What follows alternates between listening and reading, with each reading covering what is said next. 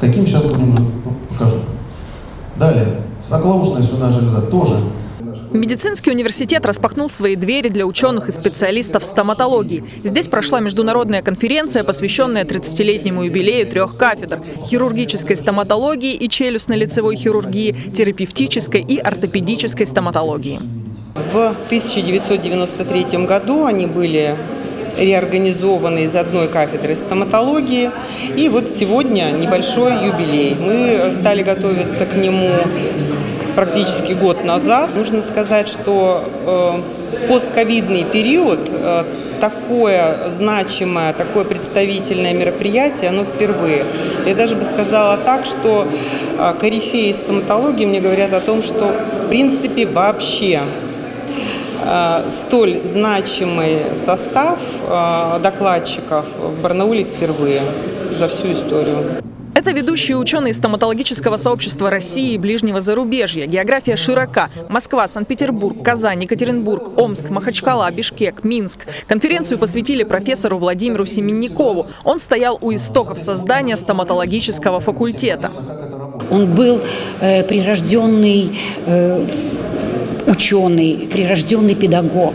Он, э, он не мыслил свою жизнь без университета. Он придумывал э, различные методы лечения стоматологических заболеваний, что подтверждено 39 патентами, авторскими свидетельствами на изобретение именно новых методов лечения э, стоматологических заболеваний. В дань памяти о профессоре написали книгу «Стоматология за 30 лет шагнула далеко вперед», а основной темой конференции стала сиалология – учение о заболеваниях слюнных желез. Практически все здоровье полости рта, оно зависит от качества слюны, от ее количества, понимаете? Поэтому этот орган, он объединяет все виды стоматологии как таковой. Если можно так сказать образно, он создает экологию полости рта. От нее зависит состояние эмали живой и так далее, и так далее. Мы стараемся эти уникальные знания, которые мы накапливаем, аккумулируем, собираем врачей разных специальностей для того, чтобы их решать. Вот этот опыт передавать в регионы. Опытных специалистов в данной области мало. Заболевания слюнных желез чаще всего хронические, а причины имеют врожденные предпосылки. В постковидные времена это особенно актуально. Вообще ковид, он развивается в малых слюнных железах. То есть изначально стоматолог – это тот человек, который контактирует вот с очагом э, инфекции и очагом развития ее.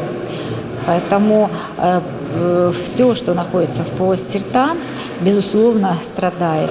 И восстанавливается или нет, мы изучали на своих студентах, как бы на э, волонтерах.